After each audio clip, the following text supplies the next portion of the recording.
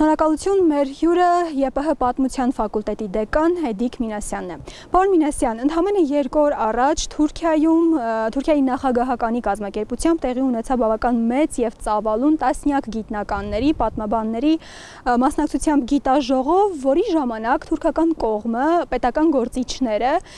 բավական ինտենսիվ փորձում էին առաջ տանել այն թեզը, թե դարեր շարունակ հայրը եւ թուրքերը կողք կողքի ապրել են իրար հետ եւ կարող են նորից դա անել։ Սրանից բացի նաև Հայաստանում են պաշտոնական շրջանակները, որոշ պաշտոնյաներ հայտարարում, թե եկել է գուցե կա շանս հիմա ճշնամանքին վերջ տալու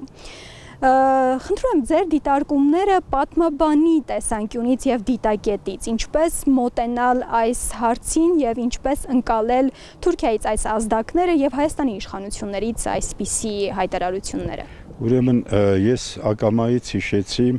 Գարեգին Նժդեի մեծ հայի հայտնի խոսքերը, երբ խոսում է մեր դարավոր ողերիմ ճշնամու թուրքերի մասին, նշում է, որ թուրքերը մեր դարավոր ողերիմ ճշնամին են։ Սակայն մեր համար ավելի վտանգավոր է ներքին ճշնամին, թուրքասեր հայը։ Այս խոսքերում ամեն ինչ ասված է, կոնկրետ այն մարդկանց հասցեին, որոնք ներկայումս կոնկրետ քարոզում են Թուրքի հետ այդ բարեկամությունը։ Իհարկե, երբեք չպետք է շղթել, որ հարևանի հետ հարկավոր է նորմալ բարեդրացիական հարաբերություններ հաստատել։ Այն դեպքում, երբ հարևանը նորմալ է եւ հարևան, որը գնատում է նաեւ քո մոտեցումները, բայց ագրեսիվ հարևան, որի բուն նպատակը քո ժողովրդի ոչացումն է, այն էլ դարավոր քաղաքական ծրագիր նպատակադրում որի արդյունքում 1.5 միլիոն ենք ասում, բայց մոտ 2 միլիոնից ավել հայություն ոչացվեց, եթե դրան գումարենք նաև 1918-23 թվականների ամբողջ եղելությունը կտեսնենք 2.5 մոտ 3 միլիոն հայություն ոչացվեց թուրքական յաթաղանի արյունոտ սրով։ Եվ այսօր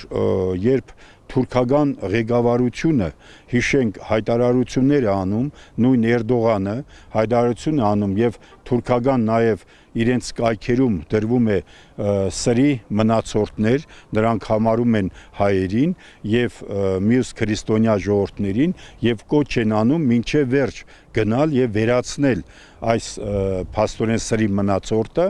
ինչպես կարելի է քարոզել այդ բարեկամությունը։ Ես զարմանում եմ։ Եվ հիշենք մեր հայրենիքի մի մասի կորուստը նույն թուրքը ցեղասպանություն իրագործեց նույն հավատարիմ արդեն ադրբեջան եղբայրների հետ միասին ադրբեջանցի եղբայրների թուրքական իշխանությունը կարողացավ իրագործել ցեղասպանությունը մեր օրերում 5000-ից ավելի երդասարտներ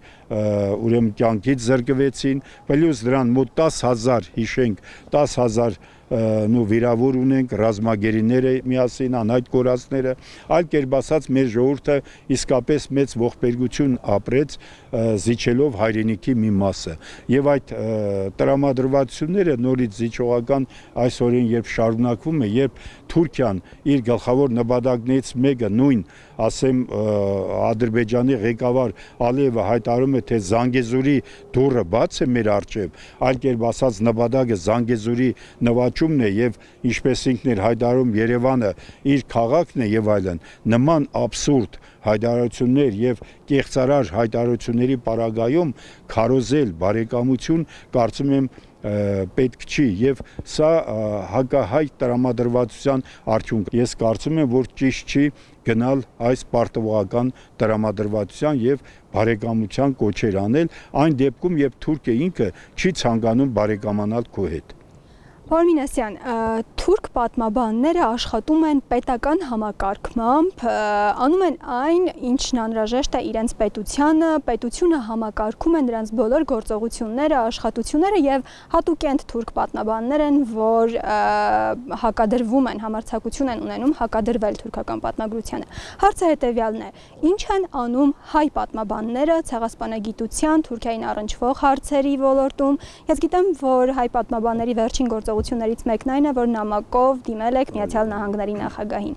Եվ այսպես, ինչ են անում հայ պատմաբանները։ Նախ ասեմ, որ նու գիտական կոնֆերանսներ միջազգային մագարտակով վերջերս գիտությունների ազգային ակադեմիայի Երևանի Պետական համալսարանի եւ մյուս նաեւ գիտական հաստատությունների հետ շատ հաճախ կազմակերպվում են վերջին տարիներին հատկապես նվիրված պահանջատիրությանը ես այստեղ պետք է նշեմ գիտությունների նաեւ ազգային ակադեմիայի խաղացած որոշակի դերը հատկապես հասարակագիտական բաժանմունքի դերը եւ պատմության ինստիտուտի տնօրեն Աշոտ Մելքոնյանի ղեկավարությամբ, ինչպես նաև Արևելագիտության ինստիտուտի Սաֆրասյանի ղեկավարությամբ այսօրվա տնօրենի ակտիվ մենք քննարկել ենք նաև Երևանի Պետական համալսարանի պատմության ֆակուլտետի եւ հայագիտության ոլորտի աշխատողների հետ, հայագիտության ոլորտի նշանավոր պատմաբանների հետ համատեղ մենք անցկացրել ենք այդ գիտական նստաշրջանները Շատ լավ։ Ներողություն եմ խնդրում ընդհատելու համար, պարոն Մինասյան։ Եթե համեմատենք հայ պատմաբանների աշխատանքը եւ թուրք պատմաբանների աշխատանքը, ինչպես կգնահատեք ես ասեմ, որ նու թուրք պատմաբանների նախ pedagogan մագարտակով է դա կազմակերպվում նրանց հատկացված հսկայական միջոցները եւ դրա արդյունքում աղավաղված պատմություն ներկայացնելը գրեթե massայական է, ընդ որում այդ միջոցները հատկացնում են առանց որևէ խտրականության։ Անգլերեն, ֆրանսերեն, օտար լեզուներով թարգմանում եւ կեղծիքը տարածում են։ Գիտեք, այդ կեղծիքի դեմ հակադրվելու ուղղությամբ լուրջ քայլեր արվել են պատմաբանների կողմից, սակայն այսօր այդ pedagogan մագարտակով նման քայլեր ձեռնարկելը կարելի է համարել абսուրդ, որտեղ ավելի շատ անհատական նախաձեռնությունների կամ նույն ակադեմիայի կամ համասարանի նու ինստիտուտների պատմության եւ այլն անմիջական անմիջական նախաձեռնությամբ նրանց միջոցներով են գործի դրվում եւ հակարված հասցվում այնինչ հարկավոր է այս գործում պետական միջամտություն եւ համապետական միջամտության շնորհիվ հնարավոր կլինի կանխել այս երևույթները դա Հայաստանում չեք նկատում հիմա ես ասեմ որ հիմա ես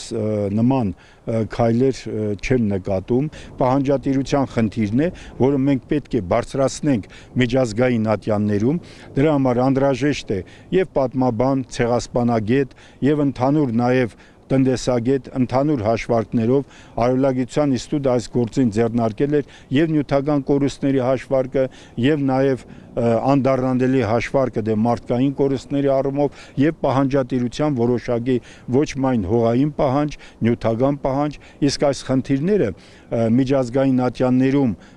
դնելու եւ կոնկրետ խնդիրներ հայրենազրկումը պահանջելու առումով կարելի է լուրջ քայլեր ձեռնարկել։ Ես նույնիսկ հիմա պատերազմից հետո այս պայմաններում պարոն Մինես։ Ես կարծում եմ, որ հիմա էլ դա չի խանգարում, որտեղ Թուրքիան վերջին հաշվով պետք է հասկանա, որ պատասխան է տալու իր անցյալի արածների համար։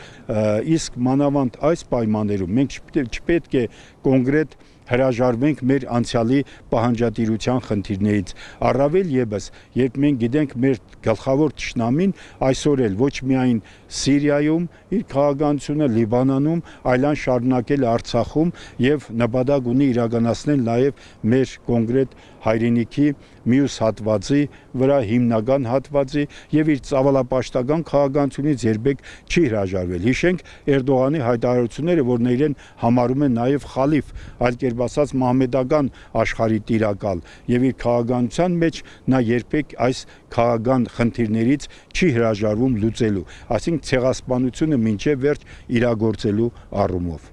Շնորհակալություն։ Մեր հյուրը պատմության ֆակուլտետի դեկան Էդիկ Մինասյանն էր։ Առաջինը ինչ որ նա առանձնացրեց, այն է, որ Թուրքիայում պատմաբաններն աշխատում են պետական աջակցությամբ, պետական համակարգմամբ։ Պատմաբանը նշեց, որ Հայաստանում այս պահին դա չի նկատում։ Երկրորդը, ամենակարևորը, Հայաստանը չպետք է հրաժարվի պահանջատիրությունից, նույնիսկ պատերազմից հետո եւ այսօրվա իրողություններում, որովհետեւ Թուրքիային զիջել կարող է ստիպել միայն այն, եթե Հայաստանը եւ հայերը շարունակեն ճնշում գործադրել։